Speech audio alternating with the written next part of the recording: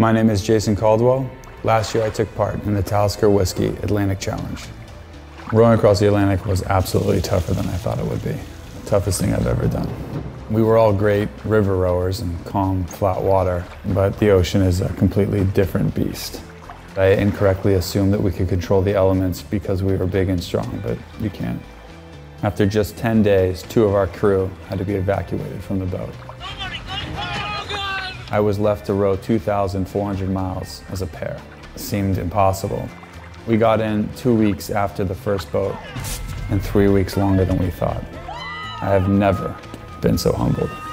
Almost immediately I was asked if I'd ever do this again. I was like, you gotta be kidding me, no way.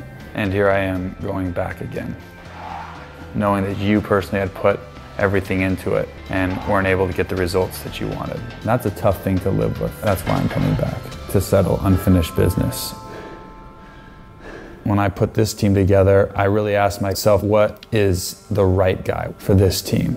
Experience is important, strength is important, courage, of course, but in the end, selflessness is what you need out there. Angus was my first pick for this new team.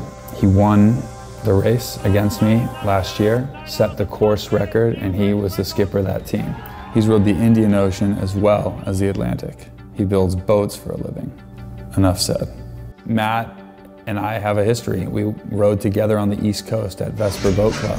It wasn't his rowing pedigree that I was so impressed with. Machine-like tenacity.